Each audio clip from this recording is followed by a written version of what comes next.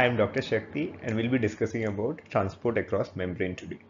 So in today's lecture, we'll be discussing about facilitated diffusion, your uh, simple diffusion, non-ionic diffusion, and a bit about primary and secondary active transport.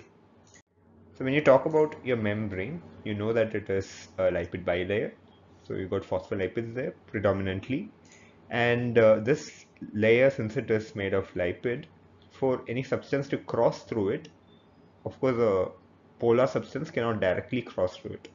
So you need something lipid soluble so greater the lipid solubility more easier for it to naturally diffuse through it without the need for any uh, carriers or you know any pores okay? So that is the first thing you need to know. Greater the lipid solubility uh, better will be the diffusion. Another thing is the concentration difference. So this concentration gradient is a very important role so especially when you talk about uh, you know the movement of any substance okay whether it's polar or non-polar concentration gradient plays a role now consider there is a concentration gradient and this is a polar substance and you open up a channel. So that will open up a way for these polar substances to cross through okay. So normally because of the Brownian movement and influence of the kinetic energy over here, especially when it's more closely packed, higher in concentration. So that will mean the net movement is somehow going to end up going towards this direction. So the net movement will go from high concentration to low concentration. That is without doubt. So let's just briefly discuss about what is Fick's law. So in Fick's law, what is conferred upon to us is the rate of diffusion. And that rate of diffusion when you talk about with respect to concentration gradient we saw that it is directly proportional. Greater the concentration gradient greater the will be the rate. Okay? As i explained earlier it's all about the kinetic energy and Brownian movement and all that. Okay? Now the negative symbol over here simply denotes that it is moving down the concentration gradient. That's why the negative symbol has come over there. Now the next thing is the thickness of the membrane so when you talk about membrane, greater the thickness means more layers it has to pass through in order to move to the other side. So in any of these substances for diffusion to take place, to go through it, if it is more thick, then it actually hamper the process of diffusion. So the rate of diffusion goes down. Okay, so that is inversely proportional. And then let's talk about area. So we just talked about a opening over here, okay, a pore and look at the surface area of that pore. Okay? So in one instance that pore is this big. In another instance the pore is this small. Okay? Where do you think diffusion will be greater? So this is basically the difference between a service road and a express highway. Okay? So greater the area more will be the rate of diffusion. So this is also directly proportional. Okay? So the rate of diffusion is directly proportional to the concentration gradient directly proportional to your area and inversely proportional to your thickness of the membrane. Apart from that, you can put something called the diffusion coefficient. So this simply is a lot of extra things that influence this. For example, temperature. Okay, so you keep it constant, but otherwise temperature varies according to that the whole nature of your membrane changes, the movement, everything changes okay? So the electric charge the pressure difference there are a lot of factors that affect the permeability as such. Okay? So a lot of these things together come under the diffusion coefficient. Okay? So this is your basic Fick's law. Okay? Equation for your basic Fick's law. So now that we talked about simple diffusion now comes your facilitated diffusion. So you can see over here small particles which are very small they can easily diffuse through as they as long as they are uh, lipid soluble they can diffuse through the membrane. But if they are large and it'll be a little more difficult even if it is lipid soluble for it to move through. Okay? So large substances now to move along the concentration gradient it needs a carrier like this. Okay? So you can see here how the carrier is working and the conformational change is going to make it go to the opposite side. So this is what happens with regard to facilitated diffusion. So you can see the difference between facilitated and simple diffusion over here. So this is the concentration and this is the J that we are talking about that is the rate of diffusion. So as the concentration keeps increasing the rate of diffusion keeps increasing. Okay so this is a pretty basic concept and you can see over here what you can notice here in case of a facilitated diffusion is it keeps increasing with your concentration until it reaches a, a threshold sort of stuff, beyond which it cannot increase. So it gets saturated. Okay so the saturation kinetics is involved over here because the carriers are limited in number. Okay so once all the carriers are used up and they are completely used it cannot increase it any further than that. Okay but another thing you can notice is if you talk about your uh, simple diffusion this is the graph over here. Now with regard to this what you can notice is this is much more faster. You can see the slope over here. So the slope ultimately shows you the rate of this. Okay so this is much more faster over here. Okay so that you can appreciate better by these terms called km jmax half jmax and all that. Okay so km is actually that concentration. So it's on the x-axis. X-axis you know is the concentration. So it is that concentration at which your this whatever substance it is uh, it reaches half of that of the jmax okay? So rate of diffusion becomes half of the maximum. That is your km okay? So th this is uh, kind of constant for different uh, substances and such a thing is not there in this because here there is no jmax. Okay? So you can appreciate it better over here. So concentration increases. Your rate of diffusion increases. But in facilitated diffusion it's much more faster compared to this.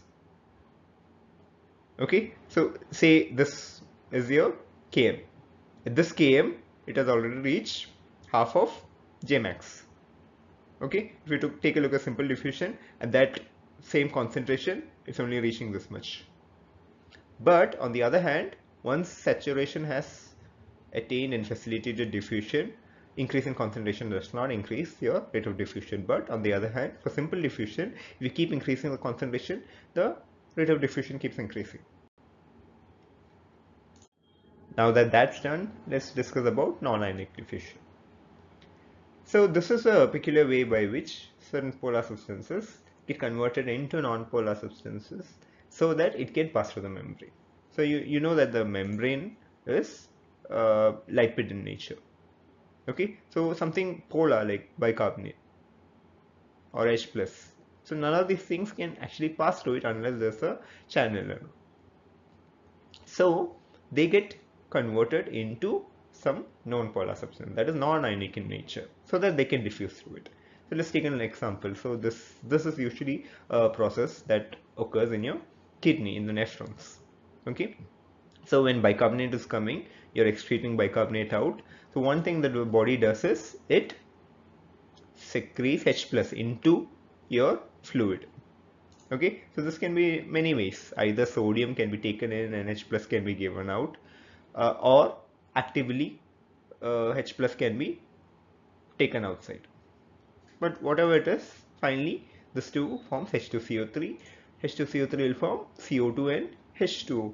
Now this is something that is able to diffuse directly through without any pores and all that okay so now they're going to diffuse in this is non-ionic diffusion and they from inside they form H2CO3 again and split up into H plus and bicarbonate and this bicarbonate gets reabsorbed so this reabsorption again uh, it can be different ways so either sodium and bicarbonate co-transport can be there or your so, uh, bicarbonate can be exchanged with uh, chloride through anion exchangers So whatever. So ultimately this bicarbonate got reabsorbed.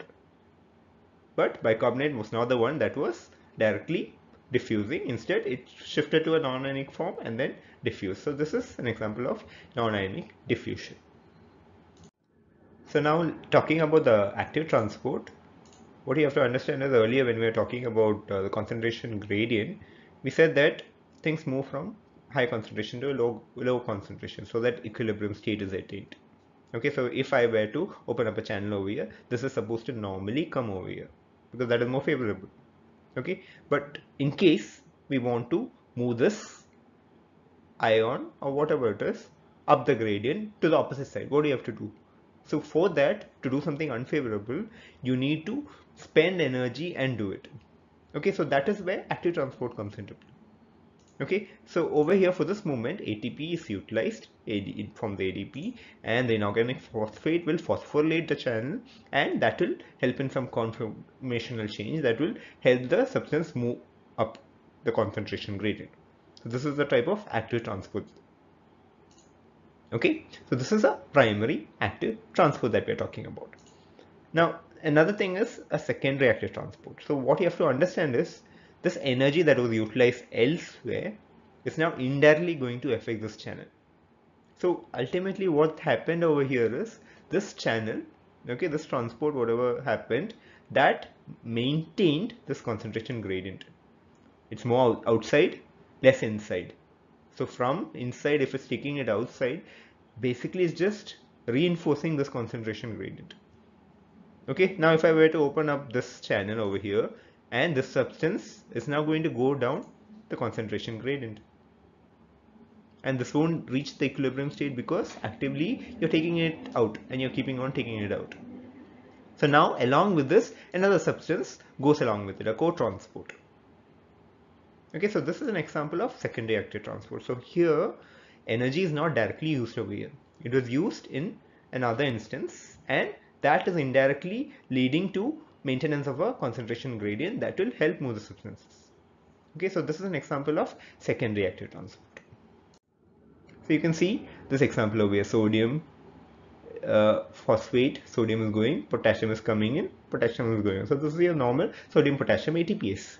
Now because of this, the concentration gradient is maintained because of which you can see how sodium along with glucose, some sort of sugar is going in. Okay, so this is a secondary active transport and this is what is called the co-transport because both of them are going in the same direction. Now let's take a look at examples. So when you talk about primary active, the most important one in the body is your sodium potassium ATPase. Okay, another example is your uh, hydrogen potassium ATPase. So this is your proton pump which is there in your uh, stomach for acid secretion. Then is a calcium pump. So you must be familiar with the term SERCA, S-E-R-C-A. So it is sarcoplasmic endoplasmic reticulum calcium channel. Okay, so that again is a active primary active transport mechanism that is there. Okay, so if you want to go a little more higher level, you can just uh, talk about all these different types of uh, channels that are there. So there are p-type. So your sodium potassium ATPase is a p-type channel. Okay.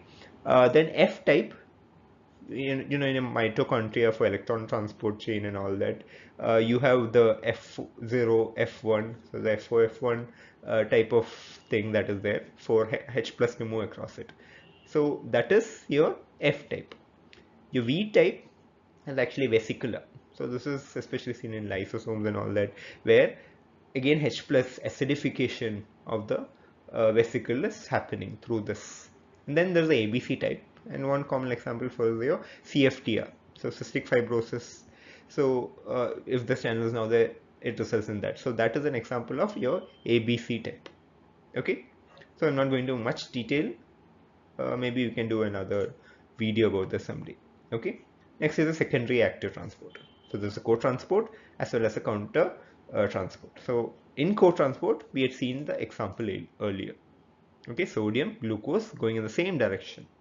Okay, so that, that is why it's called co-transport. So sodium, glucose transporters. So there's one, there's two. Okay, two is what is most commonly seen in your kidney. Okay, so in the kidney, 90% of the PCT is made up of SGLT2 and there is one uh, also which is there which is around 10 percentage but majority of it is 2 okay in your intestine one is the main important one okay apart from that you can see here sodium along with iodide okay sodium along with amino acid so you, what you can notice here is all sodium sodium sodium okay and that is where your sodium potassium ATPase is coming Okay, so this is one type of co-transport mechanism. Then as counter transport.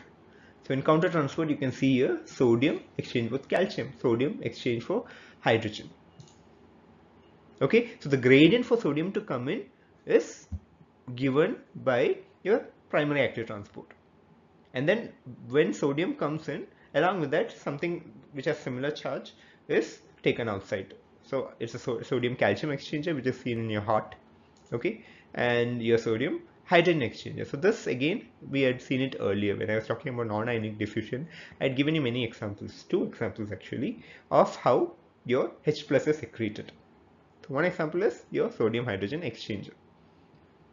Okay. Okay, so now that that is done, let's just discuss briefly what is going to be there in the next episode. So we'll talk about paracellular flow, transcellular flow, vesicular transport and important things like clathrin, caveolin, pinocytosis and all that. Okay, which is not given much properly in textbooks. So we'll discuss all that and also another lecture we'll talk about a more detailed working model of sodium potassium ATP, much more detailed so that uh, you come up to date and understand the intricacies that happen over there. Okay? And of course I'll be putting up uh, MCQ tests for whatever has been taught today and in the next class for your transport. Okay? So stay tuned in. Thank you